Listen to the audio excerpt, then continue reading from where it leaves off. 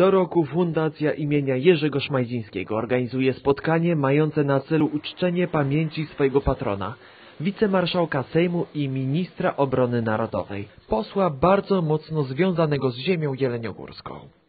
Od sześciu lat o godzinie 8.41, czyli w godzinę tragedii smoleńskiej, lokalni politycy i mieszkańcy składają kwiaty oraz zapalają znicze pod pamiątkową tablicą znajdującą się przy ulicy Wojska Polskiego 15 w Jeleniej Górze.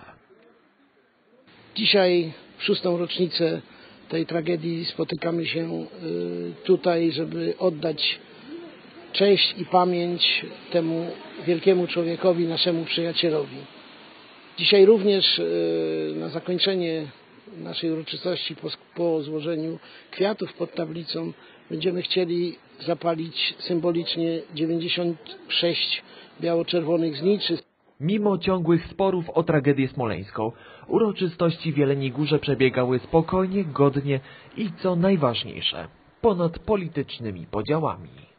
Dobrze by było, gdyby wszyscy Polacy w tym momencie czuli się razem, czuli się zjednoczeni, no i z tej, tej tragedii, która, która była, potrafili wyciągnąć wniosek, że jednak są sprawy, które dobrze jest robić razem, bardziej działać wspólnie niż być podzielonym.